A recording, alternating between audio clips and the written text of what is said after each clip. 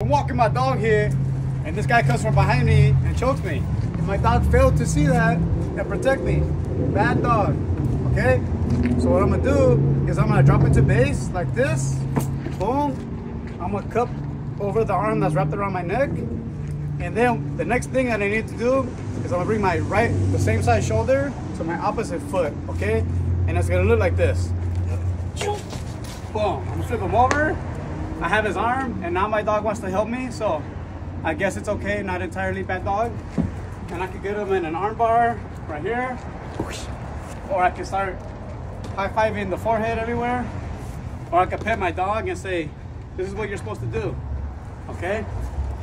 And then I'm gonna leave him here, maybe he not, got knocked out, fell asleep, and then I'm gonna get my dog, and I'm gonna walk away casually, okay? And if he's still laying there, I'm gonna tell him that he's been a bad boy.